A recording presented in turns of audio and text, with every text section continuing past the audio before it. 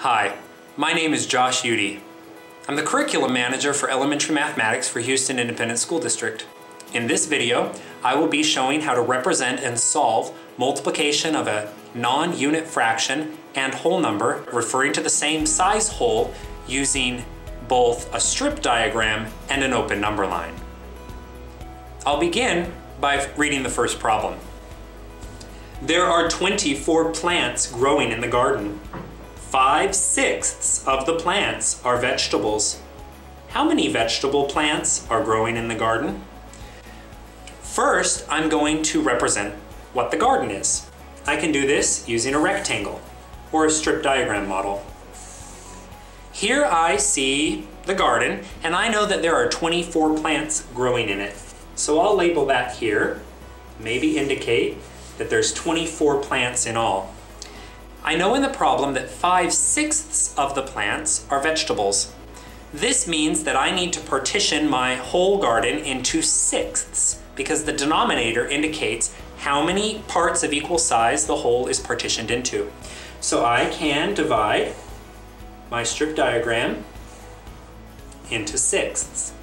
I know that 5 sixths of the garden is vegetables. I might even want to color this. Just because vegetables are green, I chose green. This shows that 5 sixths of the garden are vegetables. But it doesn't answer the question. The question asked how many vegetable plants are growing in the garden. This means that students need to understand the whole garden has 24 and it was broken into six parts. So how many plants must there be in each of those parts? I know the whole is 24 and I've broken it into and I've broken it into six parts. This means that I can take 24 divided by 6, which is 4. So I'm going to represent four black dots, I hope you can see this, in each part of my garden.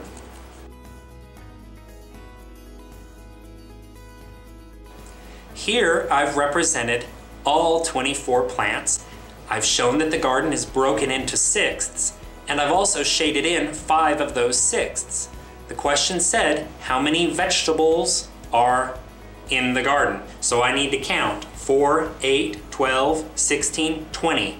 I know that 5 sixths of 24 plants is 20 plants in all. Here you'll want to point out to the students that the 5 indicates how many times they count the four plants over and over. So they count five groups of four.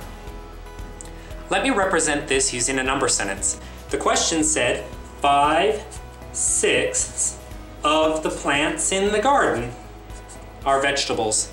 Students can represent this saying 5 sixths of 24, which they can learn means 5 sixths times 24. Here, Referring to my picture, I know that a sixth is four, but I have five of them, and so my answer is 20 vegetable plants in the garden. Now I'm going to represent and solve our second problem. Let me read it. Tom has five feet of string. He will use three-fourths of his string for a project.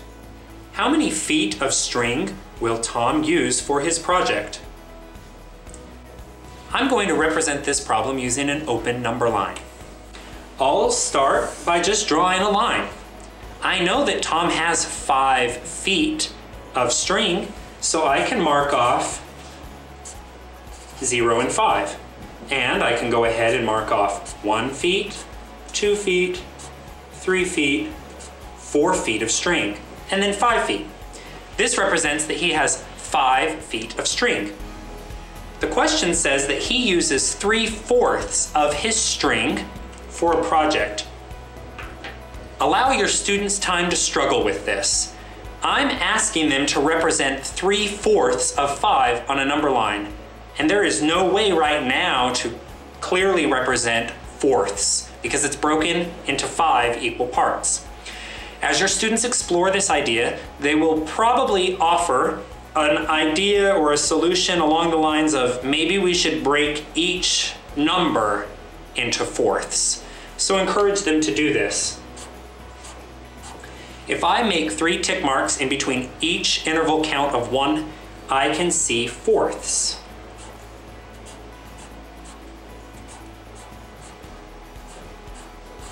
I still have five feet of string, and now I have it partitioned into fourths. So the question might be that you ask, how many total interval marks do we have on our number line?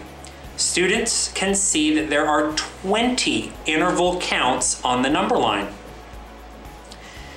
We need to show 3 fourths of the string that Tom had because that's what he used for his project. If the students understand that there are 20 interval counts on the number line, they then need to be prompted or guided to figure out what one fourth would look like.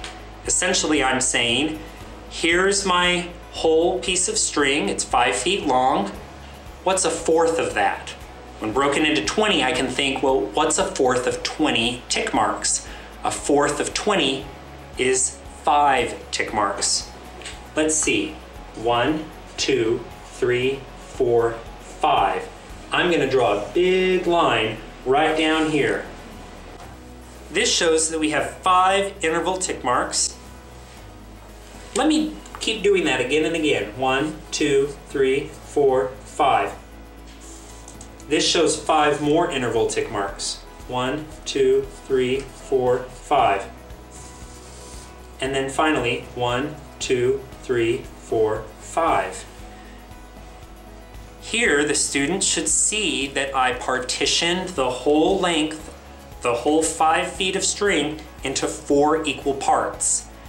I did this by first separating each of the intervals from 0 to 1 or 1 to 2, each of the intervals between each whole number into four equal parts. And then, when looking at all 20 together, I divided it into four parts by saying there's five small interval tick marks in between each of the sections. So the question asks, he used three fourths of the string for a project. So how much string did he use? Let me pull out another color. This distance from zero to one and one fourth represents one fourth of the five. This represents two fourths of the five. This represents three fourths of the five. This means that Tom used one, two, three feet of ribbon and three and one fourth, three and two fourths, three and three fourths feet of ribbon. You see that? This means that Tom used three and three fourths feet of string for his project.